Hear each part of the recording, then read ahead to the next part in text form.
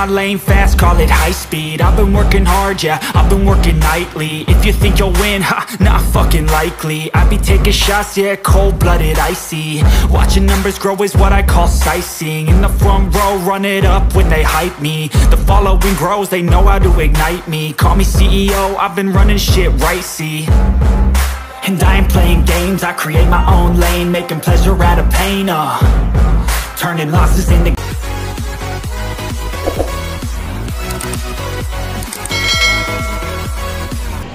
Bismillahirrahmanirrahim. Assalamualaikum warahmatullahi wabarakatuh. Yang belum punya motor Semoga diberikan kemudahan untuk membeli motor baru. Yang sudah punya motor baru Semoga motornya bermanfaat Dan bisa beli motor baru lagi. Nah pada video kali ini adalah Alasan pilih Vario 160 tipe CBS Dibandingkan Vario 160 tipe ABS yang pertama yaitu dilihat harga. Untuk harga ini lebih murah CBS harganya 22 juta 26 juta 240 ribu rupiah. Dan yang ABS harganya 28 juta 940 ribu rupiah. Jadi harga selisih 3 jutaan. Itu yang pertama yaitu harganya lebih murah tipe CBS dibandingkan tipe ABS yang kedua yaitu dilihat dari warna. Kalau warna ini adalah selera ya guys ya. Ini dua-duanya saya ambil contoh warna hitam dop ini ternyata hitamnya ini lebih hitam tipe CBS ini dibandingkan tipe ABS ini hitamnya hitam banget sedangkan yang ABS ini hitamnya agak ke abu-abuan. Itu warna. Nah, perlu teman diketahui untuk seluruh Indonesia untuk warna itu ada enam total. Untuk ABS ada tiga warna, untuk yang CBS ada tiga warna. Nah, ini di depan saya sama-sama warna matte black. Jadi untuk tipe ABS itu tidak ada warna merah. ABS tidak ada warna merah. Dan tipe CBS tidak ada warna putih jadi ABS ini putih ada CBS nya nggak ada warna putih. Tapi kalau yang merah pengen warna merah berarti harus pilih tipe CBS itu di warna. Jadi untuk warna itu bisa menentukan ABS dan CBS walaupun rencananya kepengen ABS warna merah ABS itu enggak ada. Jadi seluruh Indonesia itu sudah diatur untuk CBS ada tiga warna untuk ABS ada tiga warna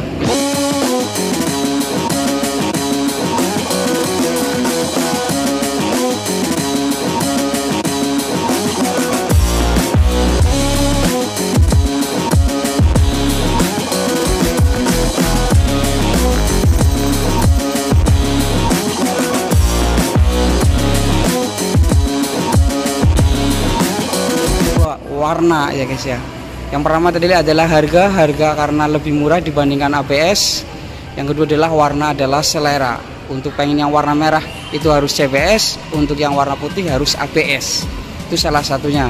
Dan juga ini hitamnya hitam beda. Ternyata hitamnya beda, beda untuk warna matte black.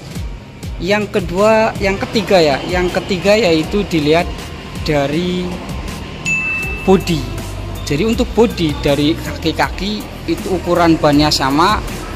Ukuran ban depan 100 per 80 ring 14 pengereman cakram sama. Beda pada warna pelek dan juga model cakramnya karena ini ABS jadi cakramnya lebih diameternya lebih gede dibandingkan CBS bodinya dari mulai samping ke sini ini sama persis teman-teman.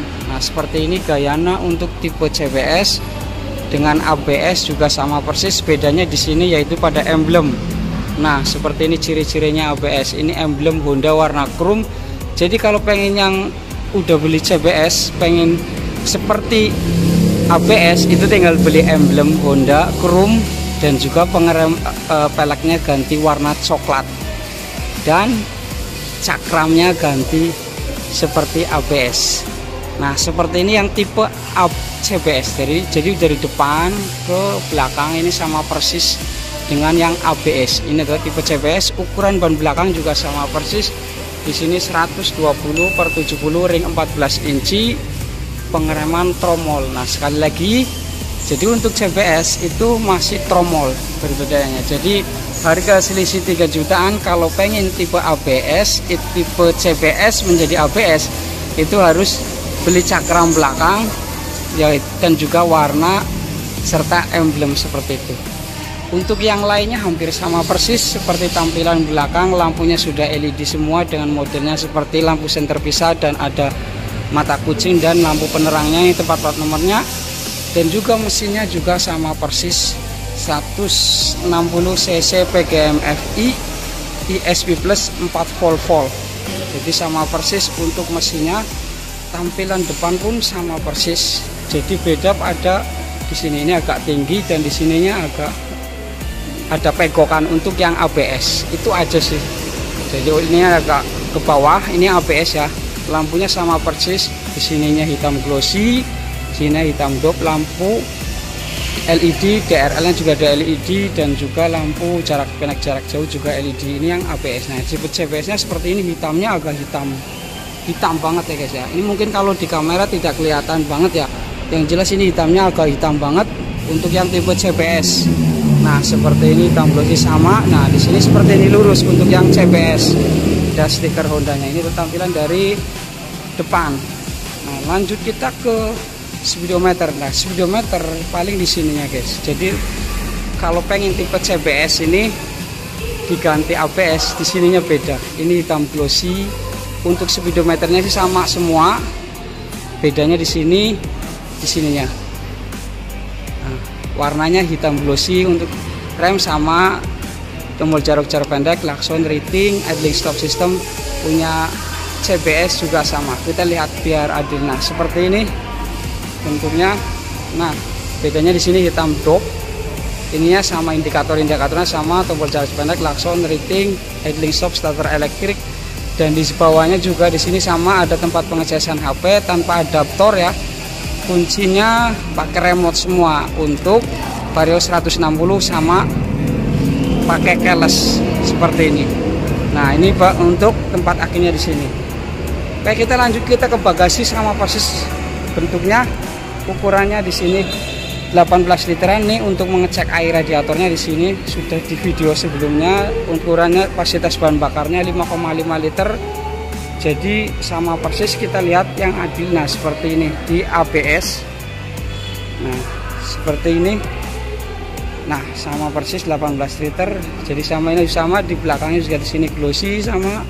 Nah seperti ini cakram belakangnya untuk Vario 160 ABS warna coklat nih seperti ini namun kesimpulannya, jadi biasanya untuk yang senang touring atau anak muda ini pastinya pilih ABS. Walaupun harganya lebih mahal, jadi tidak bisa repot ganti cakram atau yang warna dan yang lainnya. Cuman kalau untuk yang standar bawa ke pasar atau yang dekat jarak jauh itu CBS juga cukup dibandingkan ABS untuk yang jarak jauh ini biasanya anak muda banget untuk yang pilih ABS ya guys ya. Jadi untuk powernya emang bagus banget untuk mesin 160 cc. Ini sudah dibuktikan kelasnya jos pokoknya. Nah oke. Okay.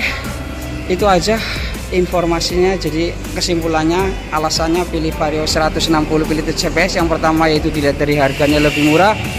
Yang kedua yaitu warnanya yang ketiga yaitu bodinya dari ujung ujung depan ujung belakang itu sama persis dengan tipe ABS bedanya sedikit tadi perbedaannya sudah kita bahas. Untuk selanjutnya itu hampir sama semua. Nah oke itu aja informasinya. Semoga bermanfaat. Assalamualaikum warahmatullahi wabarakatuh